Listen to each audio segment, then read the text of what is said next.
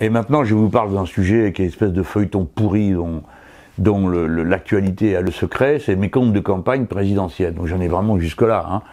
Euh, alors euh, au début, c'était juste le, rapporteur, si j'ose dire, qui était un gars qui avait été directeur de cabinet d'un ministre PS qui me hait, euh, qui a commencé à dire ah mais moi je suis pas d'accord avec la façon dont on a accepté ou refusé euh, certains aspects du compte de campagne de Jean-Luc Mélenchon. Mais écoutez-moi bien les gens, hein, on ne parle pas de la régularité de ce que j'ai fait, parce que j'ai fait que des choses honnêtes. Hein. Bon, d'accord, le journal Le Monde avait cité de nombreuses irrégularités, mais c'est un mensonge.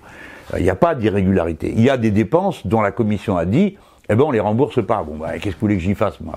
Moi, je préfère avoir tout déclaré jusque dans les détails que d'avoir oublié des choses comme certains, qu'ensuite on viendrait me reprocher en disant Mélenchon a sous-facturé sa campagne, d'accord? Donc moi, j'ai tout déclaré, tout jusqu'à l'air qu'on respirait. Et dans le tas, euh, le gars qui était un peu agité, euh, qui s'occupait de notre compte, voulait pas qu'on rembourse ci, voulait pas qu'on rembourse ça, enfin bon, euh, peu importe.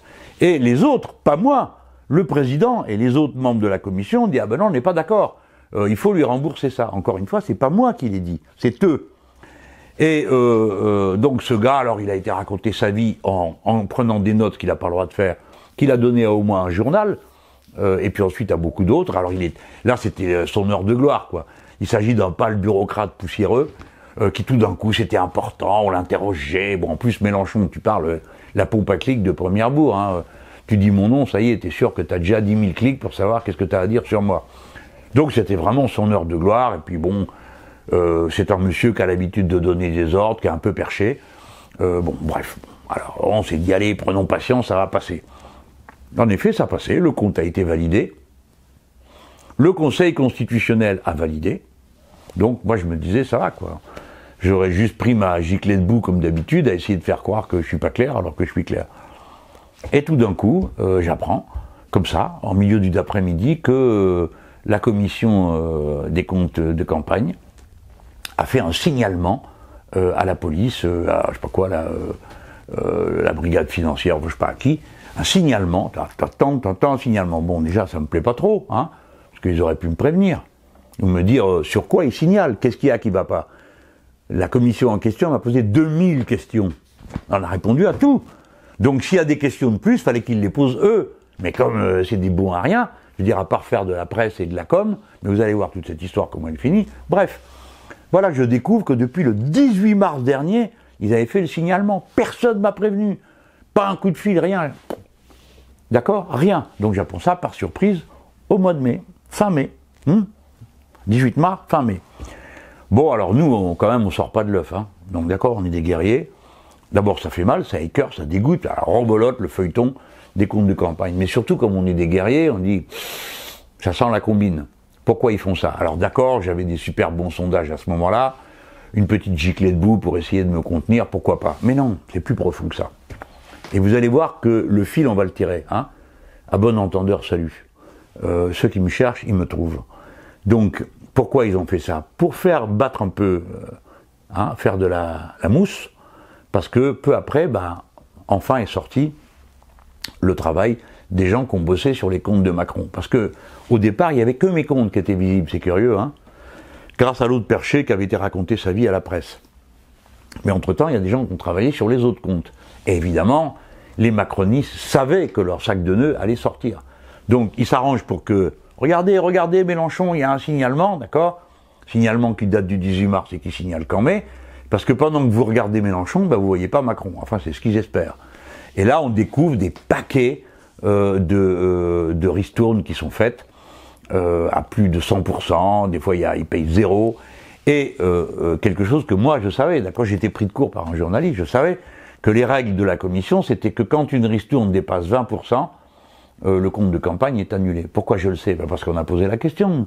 On a dit, bon, on a le droit de réclamer des ristournes jusqu'à combien? Pendant la, campagne, hein parce qu'on n'arrêtait pas d'appeler, nous, pour dire, est-ce qu'on a le droit de faire ci? Est-ce qu'on a le droit de faire ça? Parce que des fois, on ne savait pas. Donc on leur a dit, bon, et si on a un rabais, c'est quoi le maximum du rabais? Parce que rapia comme je suis, j'aime mieux vous dire que chaque fois qu'on peut gratter un euro, je gratte. Hein. Donc on avait dit jusqu'à combien? Bah pas plus de 20%, sinon c'est tout le compte qui est fichu en l'air. Ah mon Dieu, mon Dieu, donc pas question de faire ça. Mais Macron, il le savait donc comme nous. Et le président de la Commission nationale des comptes de campagne, il le savait aussi.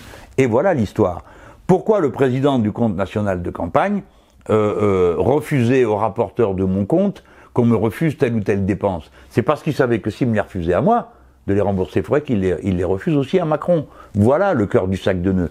Et surtout, ça aboutit à ce fait que pour le coup, quand vous avez un rabais de 100%, au sens littéral, on peut dire que c'est une subvention de celui qui vous fait le rabais de 100%, puisqu'il vous offre, il vous fait un cadeau 100%. Hein, il vous fait un cadeau. Or, les entreprises n'ont pas le droit de faire des cadeaux dans les campagnes électorales. Donc, une partie des comptes de M. Macron devrait être annulée. Hein. Je ne parle pas de son élection, je parle de ses comptes devraient être annulés. Donc, c'est pour lui, il paye tout. Voilà. Bon. Euh, et c'est ce que euh, et c'est ce que moi je pense qu'il faudrait qu'il fasse. Mais quand même, à la fin, je finis par trouver curieux ce président de commission nationale des comptes des confus. C'est un très vieux monsieur, euh, parce qu'il a commencé euh, sa carrière euh, comme adjoint en secrétariat des rapatriés en 1962. C'est l'époque où moi j'arrivais avec ma cage à là-bas à Saint-Charles, en arrivant d'Afrique du Nord. Ben, lui, il était déjà dans la haute administration de l'État. Et maintenant, il est là. Et il est censé présider, je ne veux pas dire, mais il a l'âge que moi j'aurais au bout de deux mandats présidentiels si j'étais élu la prochaine fois, d'accord? On ne demande pas à un homme de cet âge de faire face à des situations euh, d'urgence et de saturation comme celle euh, des, comptes de campagne. Puis surtout, on essaye de trouver un larbin moins visible. Parce que celui-là, il fait des signalements pour moi, euh, qu'il n'y a rien à me reprocher, mais quand on lui dit, vous faites pas de signalement pour M. Macron, non, non, les rabais, c'est normal. Ça fait plus de 20%, non, non, c'est normal. Tout est normal dès que c'est Macron. Tout est anormal dès que c'est Mélenchon. Voilà. C'est à peu près comme ça qu'il voit la vie.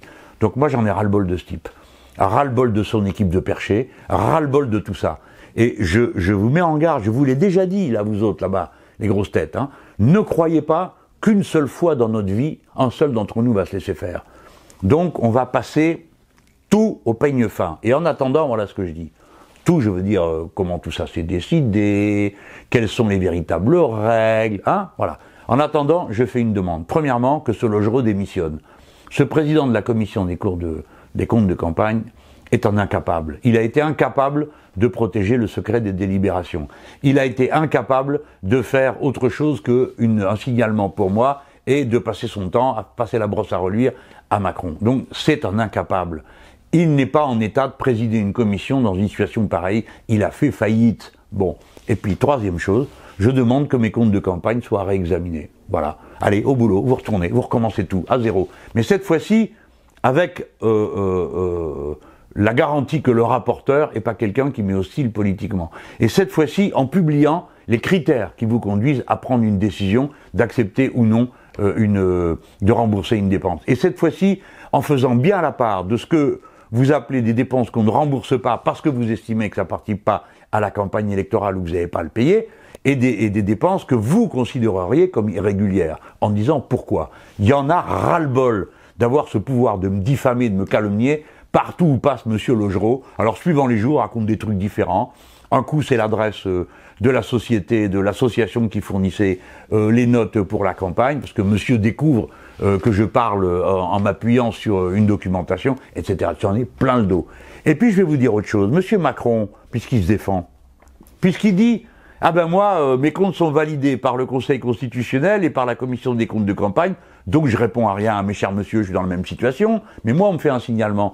Alors vous, Macron, vous devez demander comme moi le réexamen de vos comptes, puisque vous avez l'esprit tranquille, puisque vous pensez que tout est bien, comme moi, hein, eh ben alors on réexamine votre compte.